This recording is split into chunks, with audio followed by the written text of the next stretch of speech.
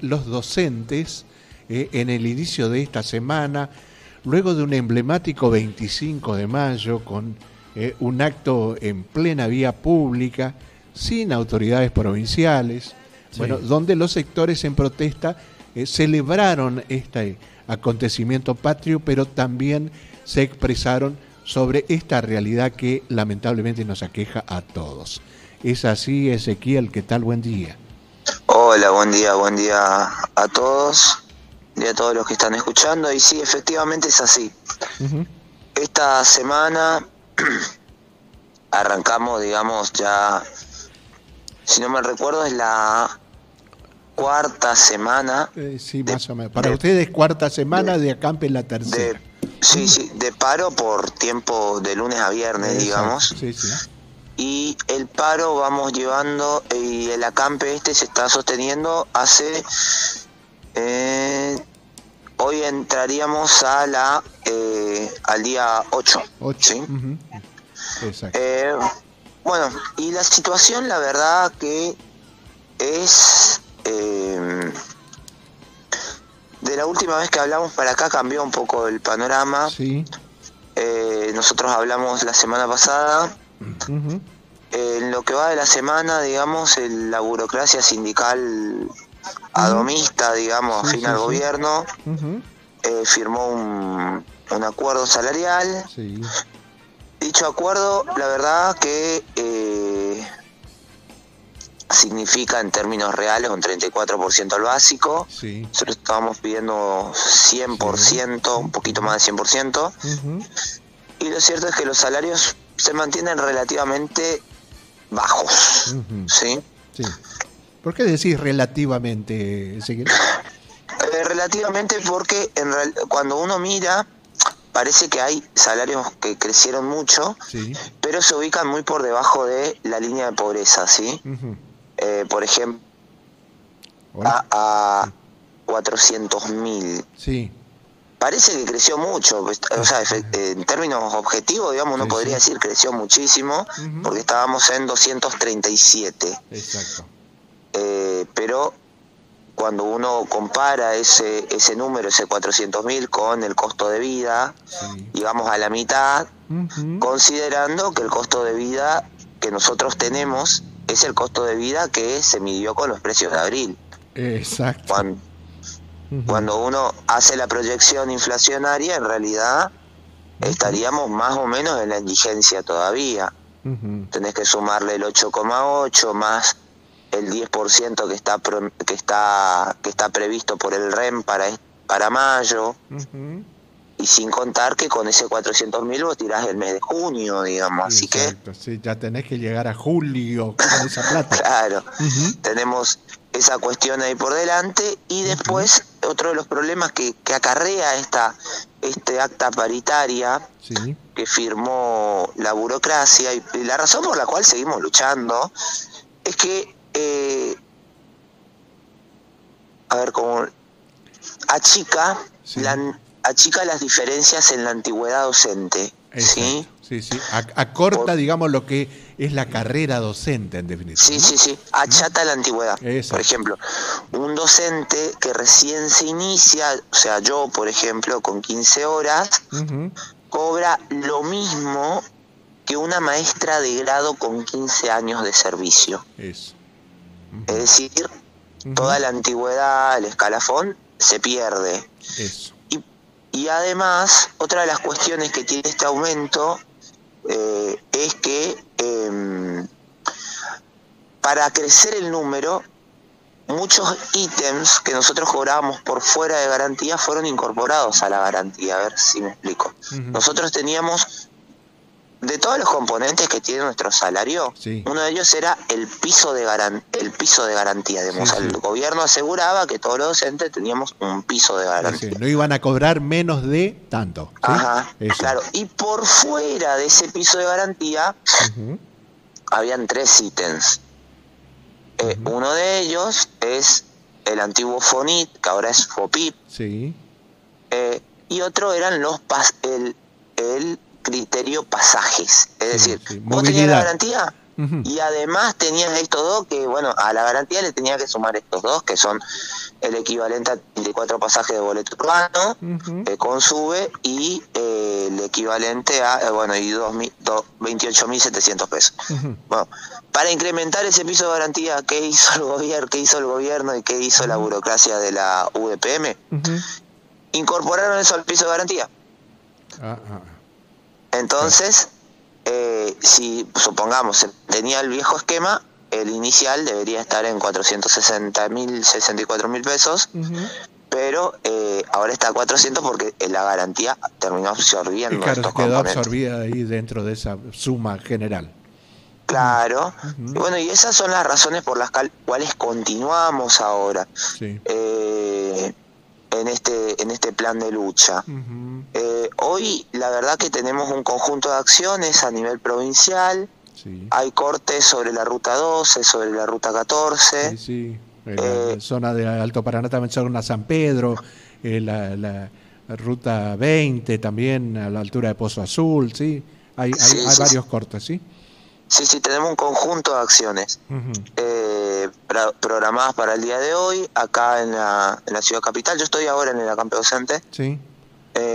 Acá en la ciudad capital vamos a, alrededor de las nueve y media diez vamos a comenzar a interrumpir el tránsito en las principales avenidas de, del norte. Eh, y bueno, y esto es básicamente el día a día. La respuesta del gobierno, la respuesta del gobierno a nuestro reclamo, la verdad que eh, fue la represión sí, abierta. en Cámara y después creo que eh, cerca del barrio Laurel, por ahí en el fin de semana, ¿verdad? Sí, sí, sí. Eh, fue la represión en la Cámara de Representantes el pasado jueves. El jueves, sí. En la casa de Pasalacua también. Eh, y el día sábado en la casa de Rovira. Sí. Avenida Urquiza y Monseñor de Andrea, por ahí más o menos, ¿sí? Sí, sí, sí, sí. Que de hecho fuimos yo por ahí particularmente no soy muy partidario de... Yo particularmente no soy muy partidario de ir a la casa de los políticos, pero bueno, es algo que pide la sociedad. La sociedad siempre pide, bueno, vayan a la casa de tal cosa, vayan a la casa de, vayan a la Cámara de Representantes, vayan al Consejo, vayan a la casa de Pasalacua. Y la verdad es que eh, a estas alturas fuimos a todos los lugares donde consideramos que teníamos que ir y también donde nos, la sociedad nos, nos dijo que vayamos.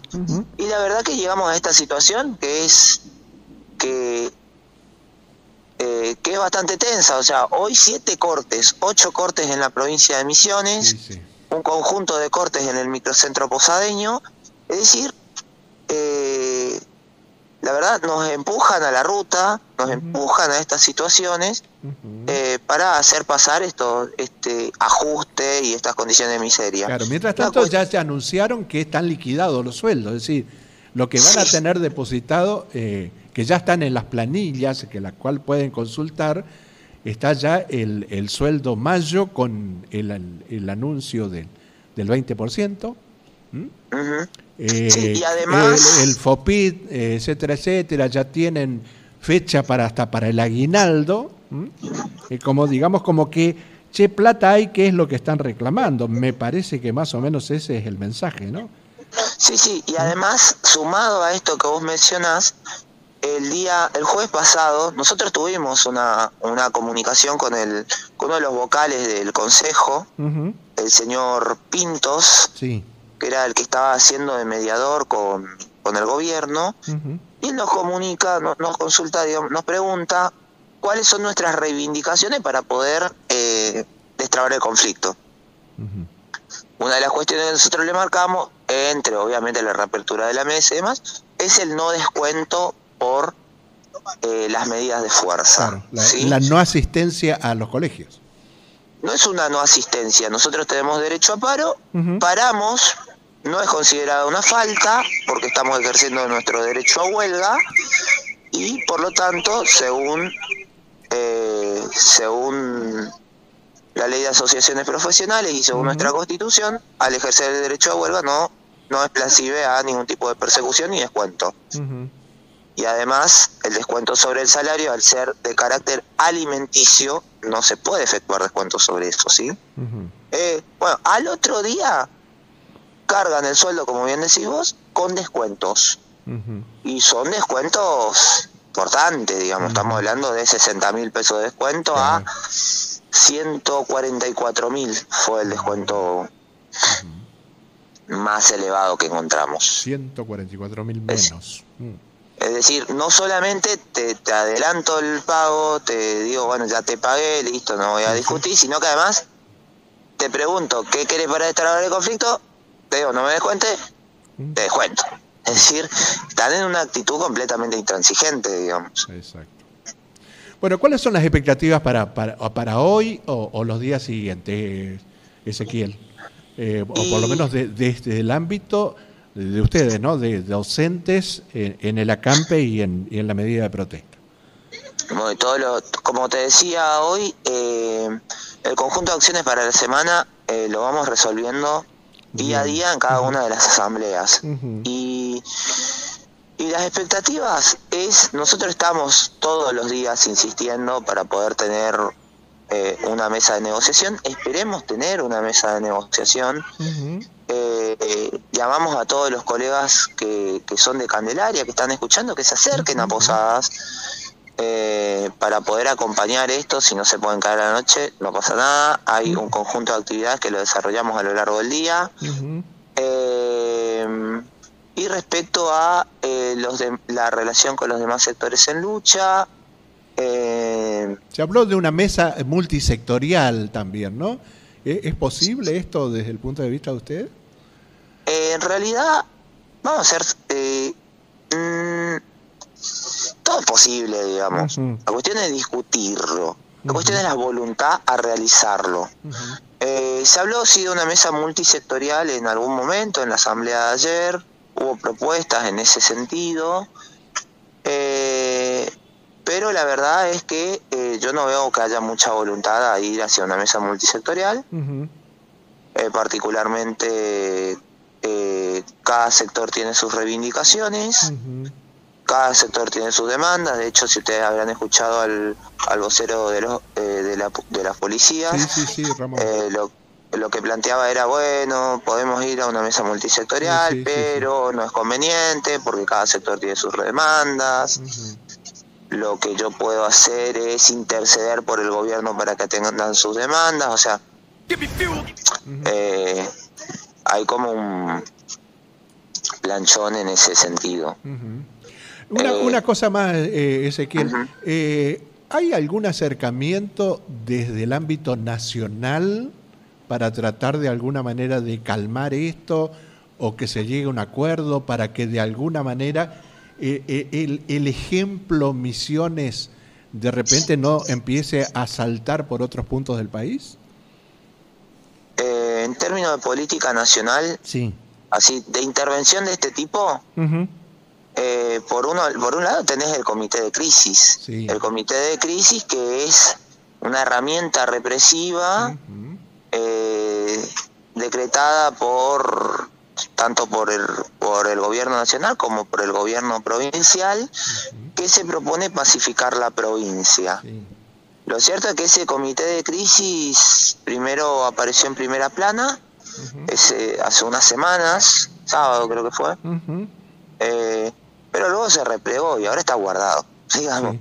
Eh, todavía no están accionando porque evidentemente las protestas que realizamos los trabajadores estatales cuentan con un apoyo social tremendo, masivo. Eh, un apoyo social que se refleja en donaciones, que se reflejan, por ejemplo, les cuento así, es la primera vez que yo de mucho tiempo que hacemos una marcha y toda la gente de Posada sale a aplaudirte. Por general, eso no suele pasar, por general pasa lo contrario, digamos. Exacto. Eh, tenemos un apoyo social masivo, entonces ese, ese comité como que se retira y ahora lo que uno puede ver en relación a la política nacional y la política provincial es que eh, se están pasando la pelota, digamos. Uno ve las declaraciones, por ejemplo, de Adorni en su momento, creo que fue la semana pasada, donde se refería al conflicto de misiones y decía, no, el problema es provincial, la provincia deberá ver cómo resolver los problemas, etcétera, etcétera. Eh, y lo mismo... Sí, el jefe eh, también, sí, que, dijo lo tiene que resolver la provincia, medio como eh, Pasalacua tiene el apoyo, pero lo tiene que resolver la provincia, dijo también el ministro, de, el jefe de gabinete de, de, mi ley. Claro, claro, claro, o sea, tenemos una... hasta ahora lo que uno puede ver es que está el protocolo del comité de crisis que puede accionar, pero eh, no están dispuestos a pagar el costo político para de, desplegar la represión de este tipo, y eh, que por lo tanto por ahora uno ve que se están pasando la pelota de un lado para otro, digamos.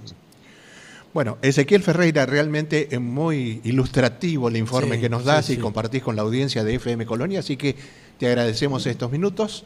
Eh, muchísimas gracias a, vos, muchísimas gracias por el espacio y permitir explayarme, digamos, sobre todo. No, no, por supuesto que sí. Lo que vemos nosotros como con preocupación, sí, como, como periodistas o como gente que está en los medios de comunicación, como que eh, en los principales medios gráficos como que va perdiendo espacio, eh, como que no, ya no es tapa, como que están tratando de eh, digamos, invisibilizar el problema que continúa.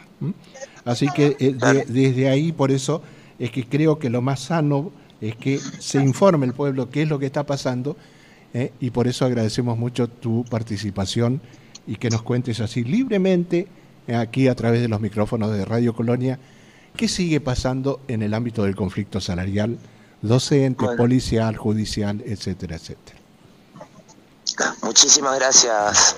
A vos, que sigas bien, que tengan una hermosa jornada. Ojalá que haya luz pronto. Eso es lo que estamos esperando todos. Hasta luego. Dale, gracias. Chao, chao.